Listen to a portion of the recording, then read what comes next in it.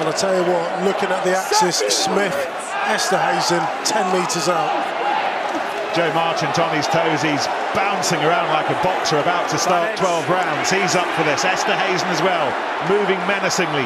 Care. oh, he didn't go for the pass, he went for the kick. Cheeky, brilliant, Joe Marchant.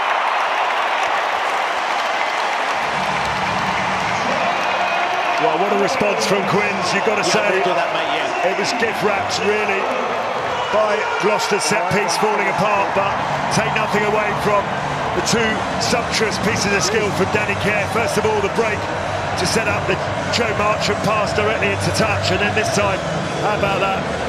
Little thread through, penalty advantage. Danny Care does this so often. That little worm kick along the ground. And Joe Marchant this time, he does read the script and he dots down and Quins are up and running.